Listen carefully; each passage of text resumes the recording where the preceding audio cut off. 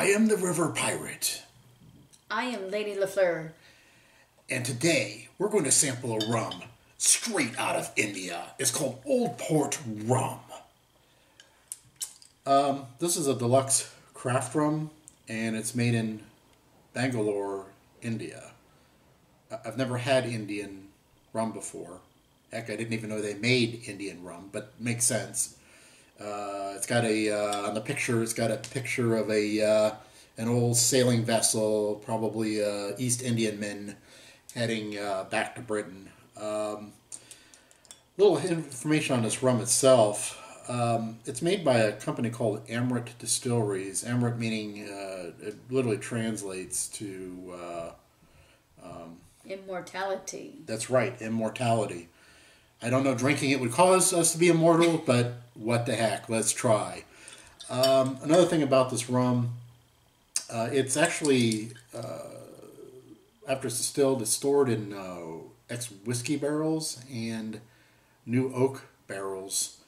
Uh, in India, where apparently where this locate where this is located, it gets pretty hot, and um, they have like twelve percent evaporation off the barrels. It, put that in perspective, Scotland only has about two percent evaporation off their barrels. So uh, it looks like the Angel's share is really high in India on this. So. Um, so let's uh, taste a sip of this rum and see uh, how people in India do this. Um, I will say one thing about the bottle. It's got a nice labeling on the top. Uh, some of this is actually in the uh, language from India. Uh, it is a metal screw cap, so we're not, we're not dealing with a cork here at all. But I will say one thing: this metal cap is uh, pretty pretty sturdy. So I'm assuming it's for uh, production there. Yeah, absolutely. So uh, let's uh, take a pour and see what it looks like. Wow, that's a big pour. That is a big pour. But it's rum after all, right? so, anyways, let's uh, smell it and see what we smell. Oh, that's pleasant. Wow. Uh, they, they use uh, Indian sugarcane uh, to make this rum.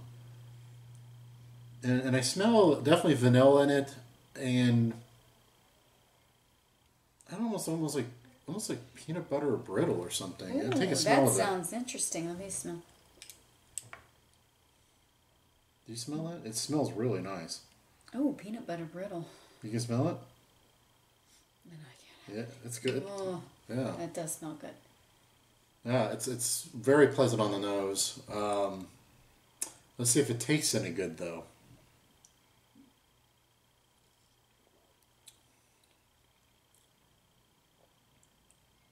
Wow. Um, my initial impression is it's a fairly smooth rum.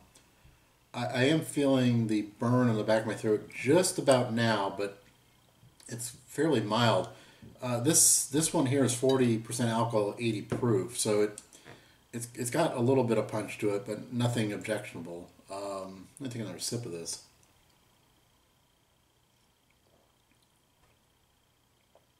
Yeah, definitely there's vanilla, and I can definitely taste a um,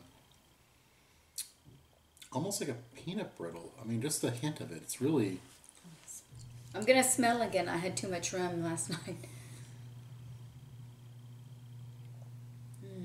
Yeah, very nice. Very very nice. Um, kind of impressed. I had no idea that uh, India made uh, rum for the first place, and second, I didn't know it might be this great. Um, uh, it must be uh, how they do the distilling process, but uh, very very very tasty. Um, I, I saw I paid about I don't know about thirty bucks for this rum, and um, I would say it's probably well worth it.